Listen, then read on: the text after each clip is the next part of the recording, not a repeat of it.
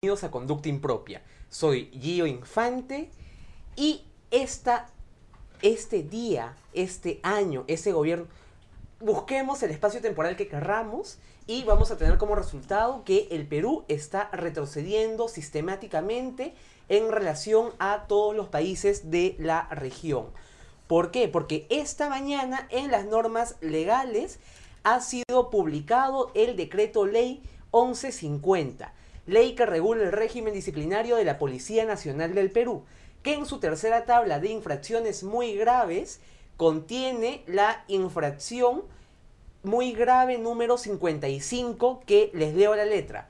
Tener relaciones sexuales con personas del mismo género que generen escándalo o menoscaben la imagen de la institución policial es una falta muy grave que será sancionada desde este día con el pase a la situación definitiva del retiro. Es decir, el Perú de este modo sanciona la homosexualidad en la policía. Esta sanción era parte de la derogada ley del régimen disciplinario de la Policía Nacional del Perú que promovió en el año 2009 Mercedes Cabanillas, la ley 29356. Esta mañana, el presidente Humala y el ministro del Interior dieron este decreto legislativo 1150 que deroga la ley aprobada por el gobierno aprista en el año 2009 y da un nuevo reglamento con faltas leves, graves y muy graves. Una de las faltas muy graves que el gobierno de Humala toma de la ley aprobada por el APRA y que mantiene actualmente es sancionar la homosexualidad en la policía.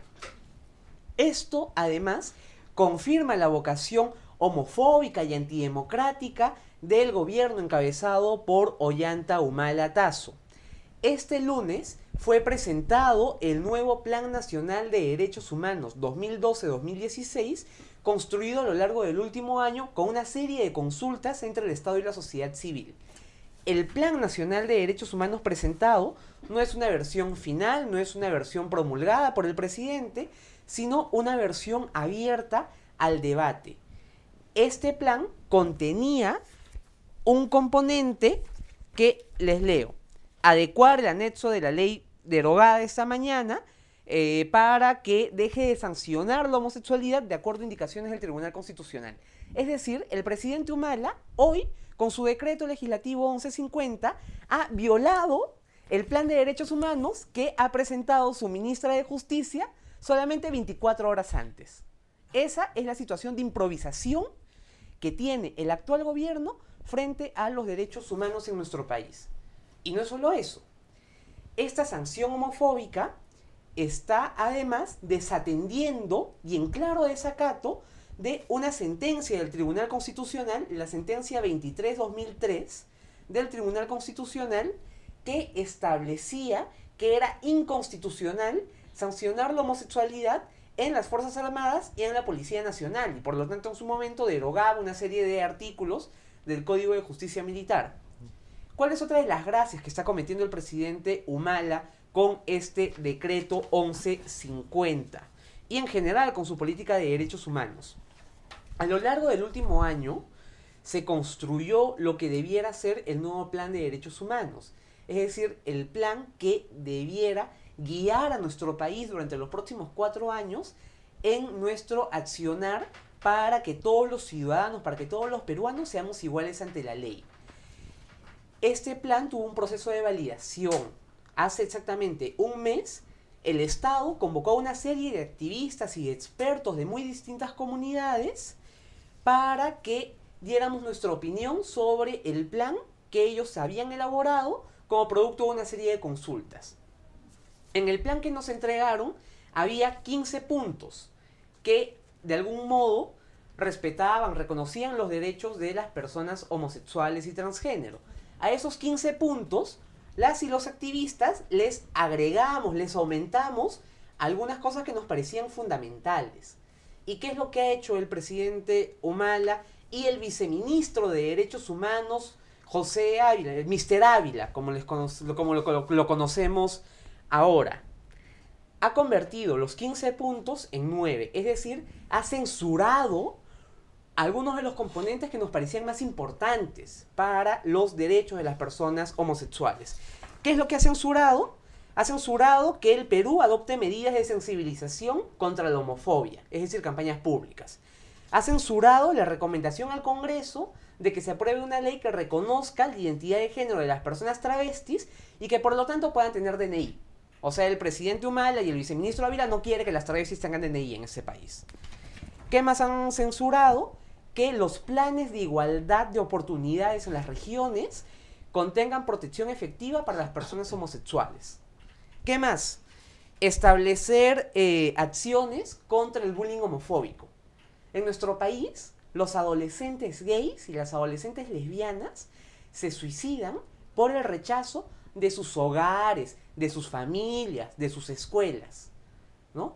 Y el Estado peruano, en lugar de desarrollar políticas para proteger sus vidas y para que no los discriminen, para que no los hostilicen, ¿qué es lo que hace? Censura que haya algún tipo de trabajo contra el bullying homofóbico. ¿Qué otra cosa se ha censurado? capacitar a los funcionarios públicos de este país contra la homofobia. ¿Qué más? Eh, han censurado de los puntos que el propio Estado estaba proponiendo, ¿ya? Eh, el compromiso de aplicar y de adaptar las normas de nuestro país a los principios de Yogyakarta, que son una recomendación de las Naciones Unidas que además el Perú ha dicho en dos oportunidades en las Naciones Unidas que va a acatar y que va a incorporar a la legislación interna. O sea, el, viceministro de Derechos Humanos, Mr. Ávila, ha censurado del plan de derechos humanos componentes vitales para garantizar el derecho a la vida de las personas homosexuales, pero además ha censurado cosas que el Estado peruano ya está comprometido a hacer. Y evidentemente también han censurado componentes que estábamos proponiendo desde la sociedad civil. Y uno de los componentes clave era el reconocimiento de las parejas conformadas por personas del mismo sexo.